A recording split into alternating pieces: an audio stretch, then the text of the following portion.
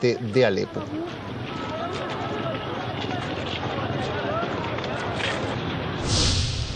La NASA trabaja en uno de sus planes más ambiciosos para encontrar un planeta similar a la Tierra.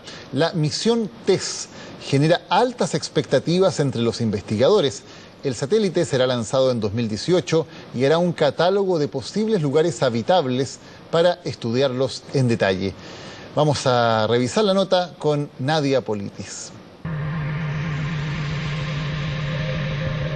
Buscar un planeta similar a la Tierra, ese será el objetivo del satélite de sondeo de exoplanetas en tránsito, o TESS, por sus siglas en inglés. Gracias a su avanzada tecnología y precisión, el telescopio espacial investigará nuevas estrellas y cuerpos que se encuentren en su zona habitable.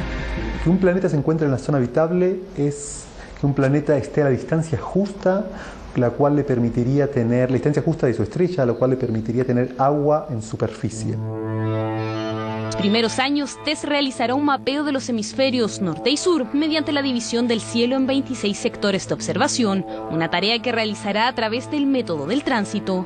Consiste en observar una estrella en forma constante durante días, meses o inclusive años y esperar que un planeta pase por enfrente.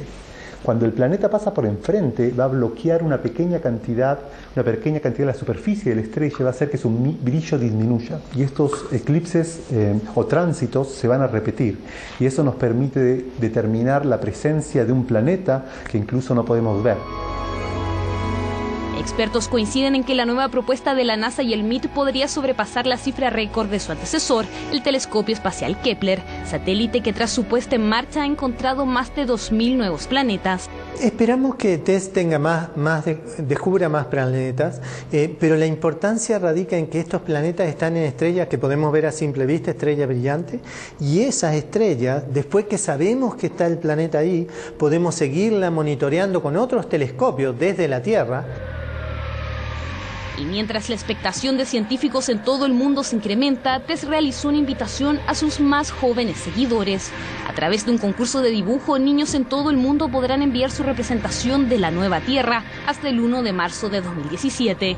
Las creaciones ganadoras llegarán al espacio junto al satélite. La astronomía es una ciencia maravillosa que, que trae resultados concretos así semanalmente y entusiasmarlos a ellos para que le pierdan el miedo a la ciencia, para que eh, sepan que la matemática no muerde, la física no muerde. Eso, eso es bien importante. Muchos de los grandes descubrimientos que se han hecho en el área de planetas extrasolares se han hecho desde Chile con telescopios que, que a los cuales podemos eh, tener acceso.